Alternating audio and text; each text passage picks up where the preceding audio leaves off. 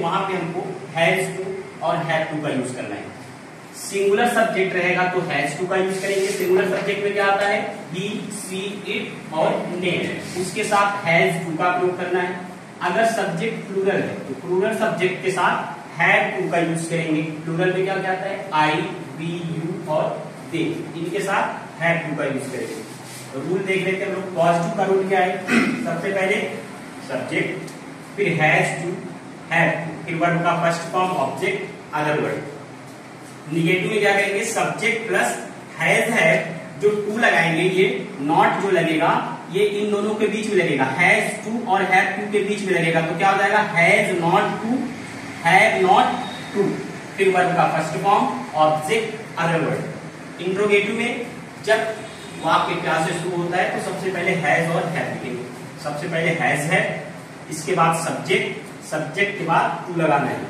फिर वर्ब का first form object other word जब क्वेश्चन वर्ड से स्टार्ट होगा, बीच में आए क्वेश्चन वर्ड जब तो सबसे पहले क्वेश्चन वर्ड की इंग्लिश लिखनी है। इसके बाद हैज़ है, फिर सब्जेक्ट लिखना है।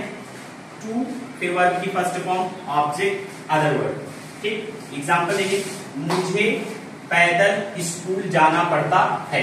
लास्ट में क्या गया पढ़ता है पढ़ती है पढ़ते हैं। ये इसकी पहचान है। पढ़ता है पढ़ती है पढ़ते हैं। तो लास्ट में आ गया अब इसको ट्रांसलेट करते हैं हम लोग। मुझे सबसे पहले सब्जेक्ट इंग्लिश लिखेंगे। मुझे का क्या होता है? आई आई आई के साथ क्या लगाएँगे?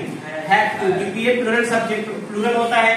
तो आई हैव टू फिर वर्ब की first form go I have to go to school पैदल का हो जाता है ऑन फुट तो I have to go to school on foot दूसरा एग्ज़ाम्पल उसे खाना बनाना पड़ता है.